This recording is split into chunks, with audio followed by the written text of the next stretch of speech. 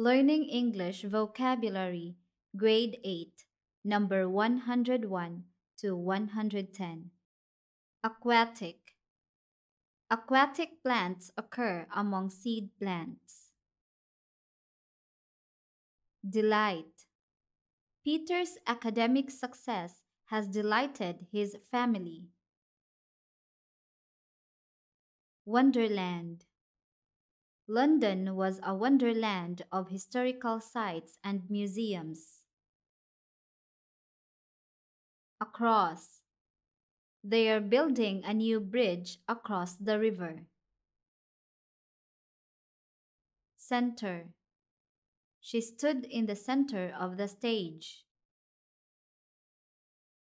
Faint. His faint smile contained sadness.